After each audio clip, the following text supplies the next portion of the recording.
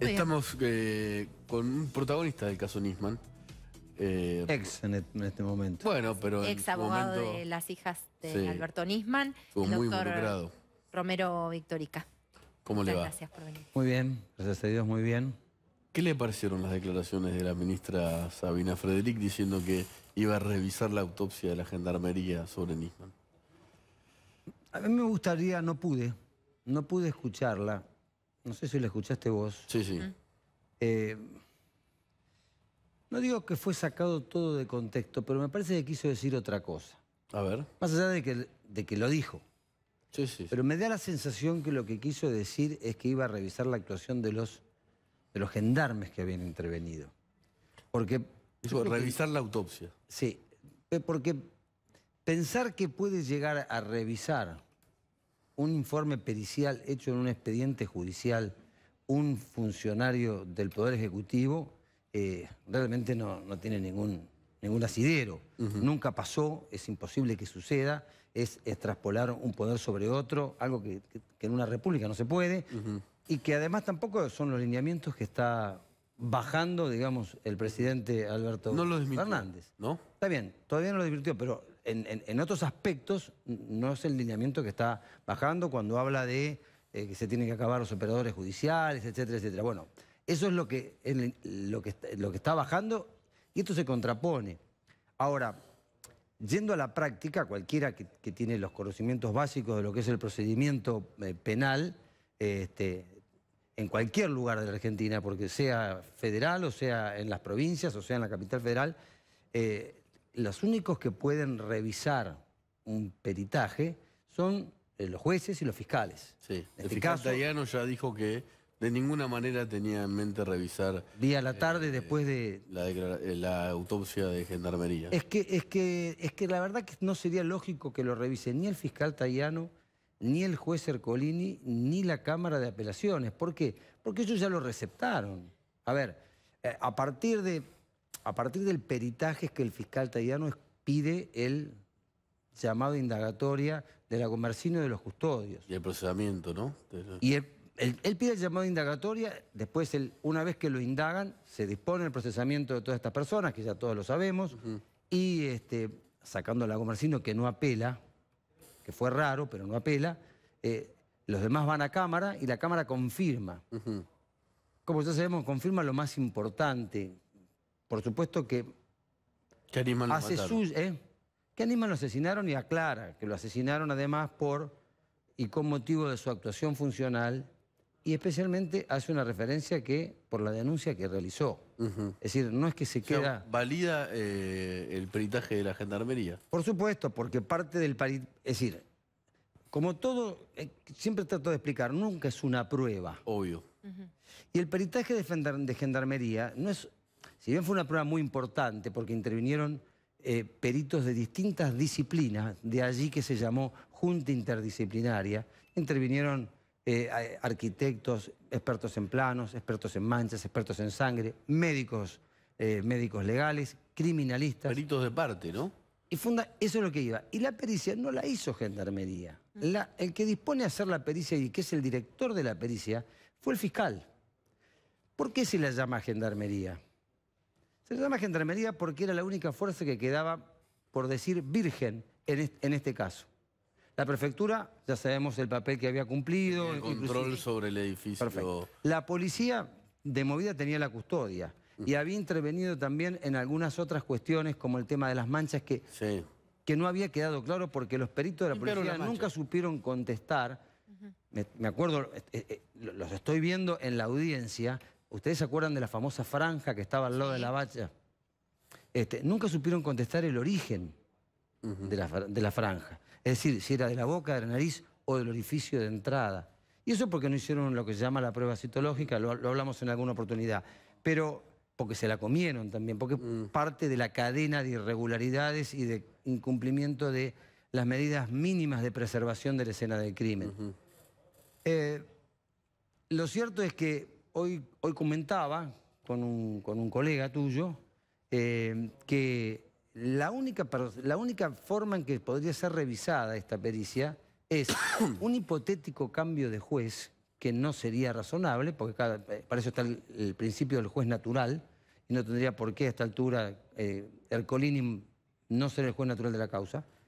Y la otra opción es que cuando ya la cosa pase, la causa pase al tribunal oral, que va a estar integrado por tres jueces y que como medida para mejor proveer o a pedido de alguna de las partes se pueda revisar algún punto, algún cuestionamiento. No es que la salvo que la decrete nula. Pero en la dulce hubo peritos de parte. La Gomercino tenía su perito y la aprobó. No, la Gomercino tenía perito de parte y no la aprobó. la, cuestionó. La cuestionó. La cuestionó, eh, inclusive recurrió y recusó a alguno de los peritos. Pero sin embargo, cuando la pericia es receptada por el, por el juez y cuando se pone en crisis su estado de inocencia, que es el llamado indagatorio, y después se lo procesa, ¿no es cierto?, ahí, eh, no apela. Porque ahí tendrían la oportunidad de ir ante la Cámara y cuestionar el informe pericial. Más allá de la, que de la responsabilidad que se le estaba atribuyendo en carácter de partícipe necesario. Podía cuestionar todo, porque Sí, sí, ahora, doctor, discúlpeme que lo, hago recapitular, pero en todo este mar de cosas usted describe irregularidades tremendas, o sea, estamos hablando de un fiscal que había hecho la denuncia más resonante en ese momento, digo, el, país entero estaba esperando que diera explicaciones hasta ante el Congreso. Considerando todo eso y todas las irregularidades que usted describe, usted ya está apartado del caso, usted fue, eh, eh, fue abogado de las, de las hijas de Nisman, por eso me tomo el atrevimiento de hacerle esta pregunta. ¿Usted cree que alguna vez vamos a saber realmente qué pasó? A ver, a mí me gusta hacer una diferencia que es, que es muy importante eh, y que hoy, hace ya un año que dejamos de estar en el expediente, tengo información de, en qué se anda, más que nada por una cuestión de que me va a seguir interesando el caso toda la vida, eh, pero fundamentalmente hay cosas que hay que tener en cuenta, que es, que es lo como dividíamos nosotros. ¿Qué pasó? ¿Qué? ¿Cómo? ¿Cuándo? ¿Dónde? Y después, ¿quién dio la orden? Es decir, primero tenemos que saber qué es el qué, qué pasó, porque o es suicidio o es homicidio. ¿Y por qué es tan importante? Porque si es suicidio, no hay delito. Entonces ya no importa todo lo demás. No importa cómo, cuándo, dónde ni quién, porque no es delito. Si es suicidio inducido, es delito. Si es suicidio inducido, es equivalente al homicidio. O sea, alguien que eh, lo llamó a Nisman, le hizo la cabeza, por decirlo como se dice en la calle, y él se pegó un tiro. Eso es igual que... Pero eso ya está recontra, está recontra descartado. no, lo aclaro porque... Pero no porque lo diga yo, ¿eh? Yo, yo puedo estar equivocado en una apreciación, puedo tener una impresión subjetiva de, de la causa por el rol que cumplí, pero después lo receptó un fiscal, después lo receptó un juez, después lo receptó la Cámara de Apelaciones, este, la propia Corte cuando dispone el pase al principio, estamos hablando... importante. El pase del fuero de, instrucción de Fein y de Palmagini al fuero federal cuando agarran la causa eh, que le instruye el fiscal, y Ercolini lo decide la Corte Suprema de Justicia. Sí, en un fallo que realmente nos hizo perder muchísimo tiempo porque eh, es el máximo tribunal de la Argentina, o sea... Que pero además que dijo algo que es obvio. Eh, dijo, es obvio que es justicia federal porque era un fiscal que estaba... Estamos hablando de la actuación funcional, no podemos descartar la actuación funcional del fiscal, porque tampoco podíamos descartar, descartar el contexto. Recordemos que el 14 de enero, cuatro días antes de que, eh, de que lo mataron, eh, ¿A quién había denunciado? Había denunciado al actual titular del Poder Ejecutivo y a todo un grupo de funcionarios de un delito muy grave. Igual a mí me gusta decir algo, que siempre en el estudio este, coincidimos, y es, no le quiero quitar mérito a la pericia de Gendarmería, a la llamada Junta Interdisciplinaria, pero eh, en septiembre del 2015, mirá la fecha que llevo, Nico, ¿eh? en septiembre del 2015 se realiza en el Centro de Investigaciones Fiscales de Salta, ¿te acordás? Lo hemos conversado en su, momento. La prueba, la prueba sobre el arma que se secuestra en el baño del EPARC, que ya había sido a su vez peritada en cuanto a que era la que se usó para el disparo, eh, para el disparo, perdón, que, es la munición que se, extrajo del, cráneo del, fiscal Nisman. O sea, no había ninguna duda que se la arma. Para ver si tenía pólvora en la mano. Porque se discutía que las pistolas 22 Versa no dejaban. Bueno, muy bien. Y ya acordémonos del fallido de la fiscal Fein, que lamentablemente... Sí. Bueno, lamentablemente no, en las manos del fiscal Nisman no había residuo de disparo.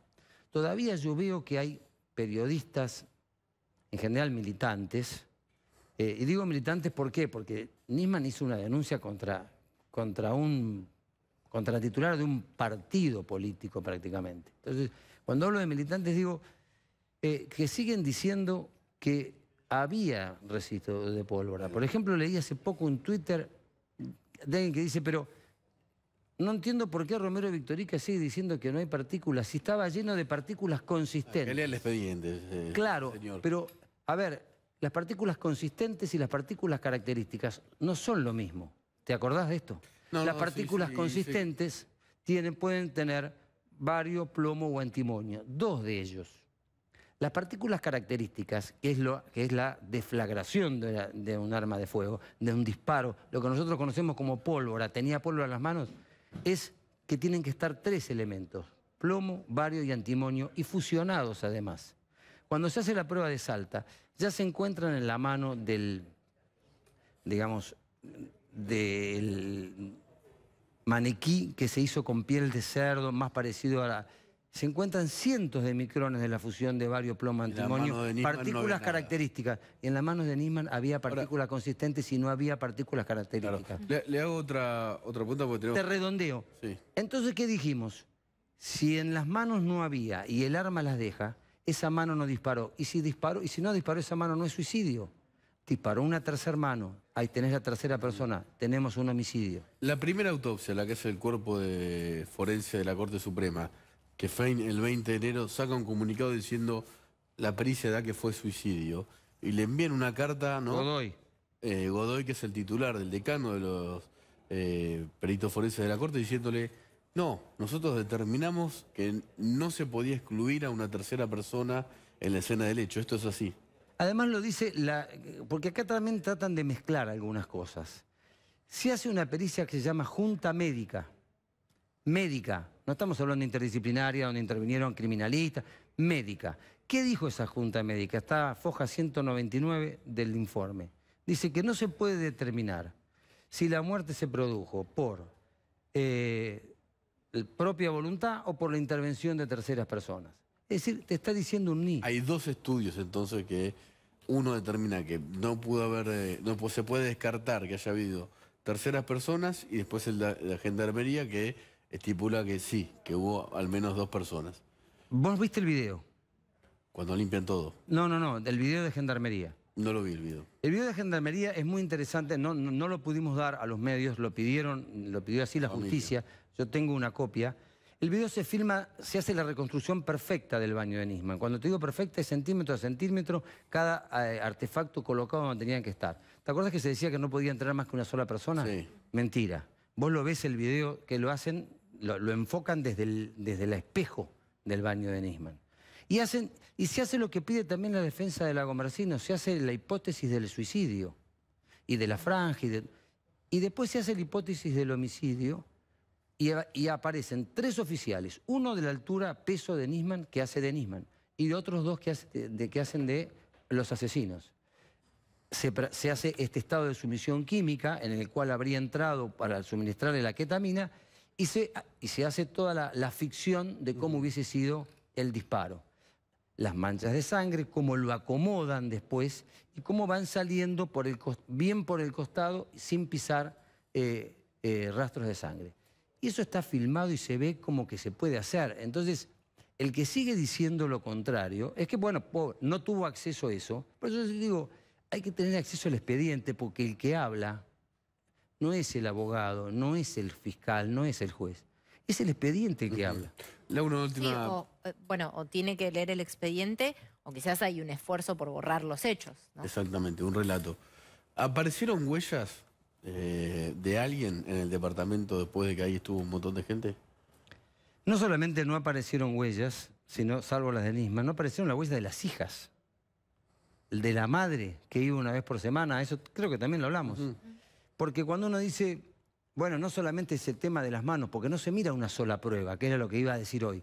No se mira solamente la Junta Interdisciplinaria, no se mira solamente las manos y el arma, Se mira que el teléfono fue borrado, lo hablamos. El teléfono fue borrado. no hay llamadas entrantes ni salientes hasta el día domingo, hasta el día domingo 19, no me acuerdo si eran las 13.46, mira, por ahí en algún lugarcito del, cerebro está. La computadora fue manipulada eh, y teniendo en cuenta la, la data de la muerte, y detalles, detalles, porque yo no me voy a olvidar nunca algo que nos contó la doctora Arroyo Salgado. Vivió 15 años con esa persona. Vos conocés, conocés las, las manías, los hábitos. Me decía, Alberto Nisman nunca dormía sin pijama. Estaba acomodado en la cama. Estaba dobladito. Entonces, Alberto Nisman nunca se acostó. Alberto Nisman lo mataron antes de irse a dormir. Entre las 9 y las 2 de la mañana, hay rango horario, 6 horas más menos, porque todos sabemos que la medicina explica o enseña que hay un, rango entre 24 y 36 horas. Hay hasta quien dice entre 12 y 24 horas. Pero depende, ¿no? No es lo mismo la contextura física tuya, grandote, nada más que lo decir, que la de una persona, que la de ella, delgada. Entonces, no va a tener la misma data de muerte, este, por, más por más que reciban el mismo impacto, eh, vos que ella. por, por, una cuestión de resistencia física, por una cuestión de que el corazón no bombea igual, por, por montones de cuestiones que explican los médicos. Por eso se marca. No es como las matemáticas que 2 más 2 da 4.